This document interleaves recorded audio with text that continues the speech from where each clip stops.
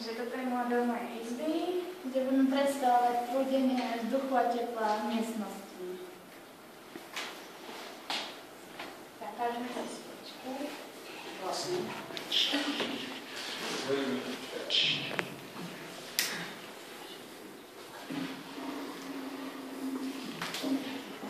Teraz musíte vidieť, že keď tam není tá sviečka, tak sa to nehybe. A keď tam, a keď tam je, tak sa to bude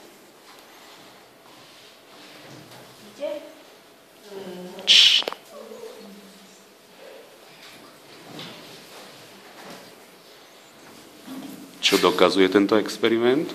Že teplo sa šíri mm,